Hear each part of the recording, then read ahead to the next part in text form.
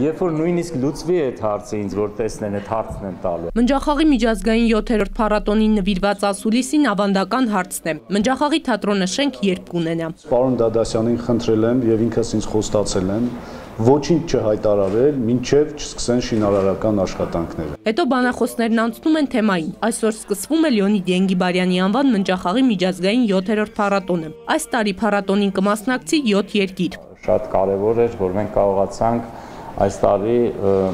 մեր ծրագրում ունենալ Լեհաստանից Վրոցլավի մնջախաղի թատրոնը։ Դադասյանը վստահեցնում է կանեն ամեն ինչ, որ փառատոնը տոն դառնա ոչ միայն մասնագետների, այլև սովորական քաղաքացիների համար։ Փոխնախարարն էլ հավելում է, մնջախաղը պիտի առաջնային դիրք ունենա ոչ միայն կրթական, այլև թատերական ոլորտում։ Միջազգային թատերական process-ները, միտումները մեզ ցույց են տալիս, որ գնալով ավելի ու ավելի է կարևորվում թատրոնում վիզուալ բաղադրիչը։ Ասուլիսն ավարտելուն պես բանախոսներն ու լրագրողները շտապում են գրականության եւ արվեստի թանգարանի մյուս սրահ։ Այստեղ ամեն ինչ պատմում եւ հիշեցնում է հենց Լեոնիդ Ենգիբարյանի մասին։ Ֆինալը նույնպես անսպասելի է փոքրիկ մնջախաղ թատրոնի սանի կատարմամբ։ Արփի Մուրադյան, Նարեկ Գալստյան, ժամը լրատվական։